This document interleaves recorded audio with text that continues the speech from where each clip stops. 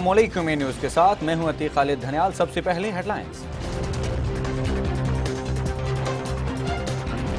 वजी अजम नवाज़ शरीफ ने कोहाट में गैस की फ्राहमी के मंसूबे का संगे बुनियाद रख दिया। अस्पताल बनाने का भी ऐलान। जलसे से खिताब करते हुए वजी अजम ने कहा कि तब्दीली का नारा लगाने वालों ने अमली तौर पर कुछ नहीं किया।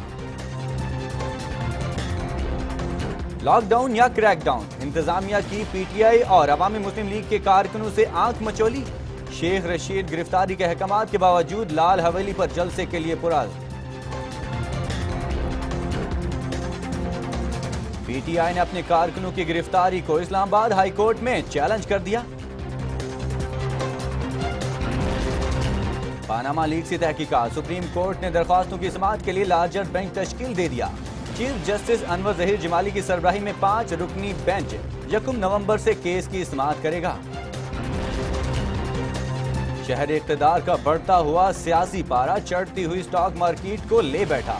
पाकिस्तान स्टॉक एक्सचेंज कारोबारी हफ़्ते के आखिरी रोज मंदी का शिकार।